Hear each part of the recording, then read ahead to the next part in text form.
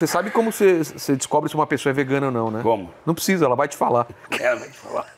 Não, não precisa perguntar. Primeira coisa que ela fala, né? É, olha, sou Já é vegano. parte, como se fosse parte de uma qualidade inerente dela. Que é isso que me irrita. Eu não tenho nada contra os veganos. Assim, tenho, eu tenho nada contra e tenho tudo contra. É que tem vegano chato e tem vegano de boa, né? Eu nunca encontrei um vegano de boa. Eu encontrei também. uma vez. Então, pra conhecer, eu encontrei uma vez um vegano de boa. Estão sempre criticando o seu modo de estilo, sempre eles estão no ar superior, sempre eles são melhores, porque fizeram a porra da escolha alimentar deles, que acha que vai ser a, a salvação do planeta. E não é. Pra você ser um vegano de verdade, cara, você tem que viver pra isso.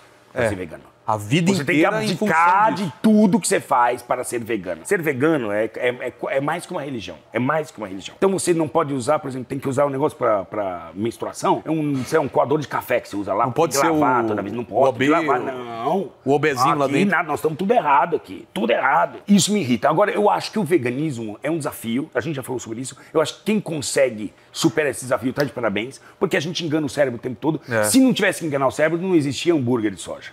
Ou seja, Fazer o é um- formatinho. Come soja aí, mano. É. Come a soja. Estão comendo soja? Então come soja aí. Por que precisa enfeitar ela no hambúrguer? Porque não é fácil. E o problema, eu acho que, do movimento vegano é, é- são os veganos de, de boutique. Esse que fode, entendeu? É. Tipo a Anitta, que faz a defesa do vegano e depois vai lá e come, entra numa churrascaria em Miami e filmam ela comendo uma costela. En Brasil hacemos así. Talpa un carajo en el mío. Va pa' dentro.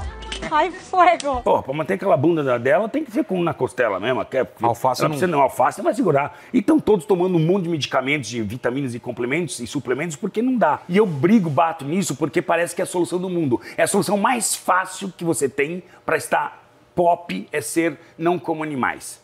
Aí você é pop, entendeu?